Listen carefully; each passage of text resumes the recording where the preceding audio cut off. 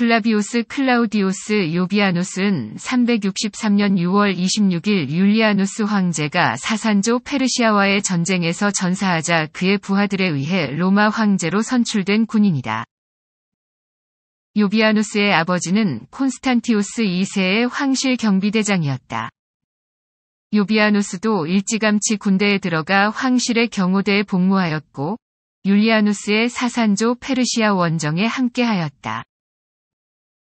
율리아누스가 퇴각하다가 결국 전투 중이 부상으로 죽자 로마 군단은 처음에는 살루스트를 황제로 옹립하려 했으나 그가 끝내 고사하자 요비아누스를 황제로 옹립했다.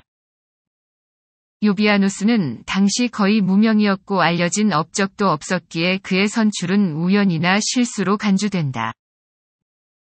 일설에 따르면 병사들이 율리아누스의 이름을 외친 것이 와전되어 요비아누스로 잘못 불렸다고 한다. 일단 황제가 된 이후 요비아누스는 사산조 페르시아와의 정전협정을 끝내야 했다. 로마군의 안전한 퇴각을 위해 그는 갈레리우스 황제 이후 수복했던 티그리스 강 동쪽의 모든 로마 지역을 사산조에 양보했고 기독교 왕인 아르샤크 1세가 지배하는 아르메니아 왕국의 중립을 보장해야 했다.